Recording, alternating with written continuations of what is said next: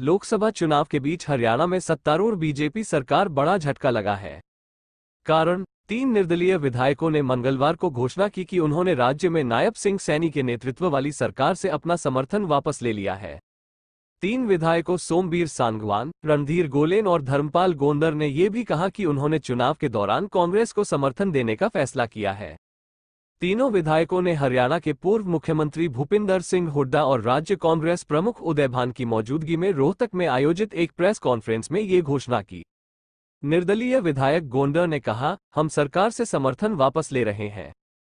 हम कांग्रेस को अपना समर्थन दे रहे हैं। हमने किसानों से जुड़े मुद्दों सहित विभिन्न मुद्दों पर यह निर्णय लिया है।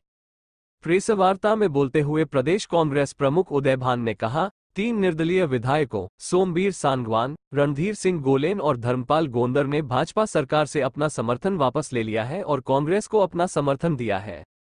मैं ये भी कहना चाहता हूँ कि 90 सदस्यीय हरियाणा विधानसभा की वर्तमान ताकत अठासी है, जिसमें से भाजपा के 40 सदस्य हैं। भाजपा सरकार को पहले जेजेपी विधायकों और निर्दलीय विधायकों का समर्थन प्राप्त था, लेकिन जेजेपी ने भी समर्थन वापस ले लिया था और अब निर्दलीय है भी अपना समर्थन वापस ले रहे हैं। देवभान ने कहा, नायब सिंह सैनी सरकार अब अल्पमत सरकार है। सैनी को अपना इस्तीफा दे देना चाहिए क्योंकि उन्हें एक मिनट भी रहने का अधिकार नहीं है। अब विधानसभा चुनाव तुरंत होने चाहिए। भूपिंदर सिंह हुड्डा ने हरियाणा में राष्ट्रपति शासन की मांग करते हुए दावा किया कि भाजपा सरकार जादुई आंकड़े से कम पर आ चुकी है। कुछ निर्दलीय विधायकों द्वारा हरियाणा सरकार से समर्थन वापस लेने और कांग्रेस को समर्थन देने की खबरों के बारे में पूछे जाने पर हरियाणा के मुख्यमंत्री नायब सिंह सैनी ने कहा, मुझे ये जानकारी मिली है। शायद कांग्रेस कुछ लोगों की इच्छाओं को पूरा करने में लगी हुई है। अब कांग्रेस को जनता की इच्छाओं से कोई लेना देना नहीं है। हरियाणा में कुल नब्बे विधानसभा सीटें हैं। यहाँ का जादुई आंकड़ा छियालीस है। यानी किसी भी दल को सरकार बनाने लिए कम से कम छियालीस विधायकों की ज़रूरत है। लेकिन राज्य की दो सीटें फ़िलहाल खाली हैं। ऐसे में जादुई आंकड़ा 45 बचता है। वर्तमान नंबर गेम की बात करें तो बीजेपी का आंकड़ा बहुमत से कम नज़र आ रहा है।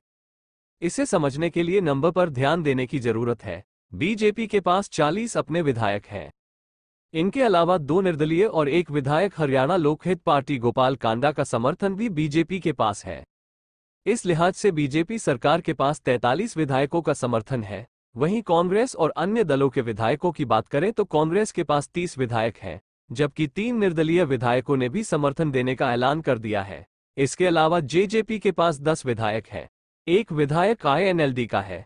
इसके अलावा एक और निर्दलीय विधायक बचता है। सूत्रों की माने तो वह भी कांग्रेस को समर्थन दे सकता है। कांग्रेस का दावा है कि फ़िलहाल बीजेपी सरकार अल्पमत में आ गई है।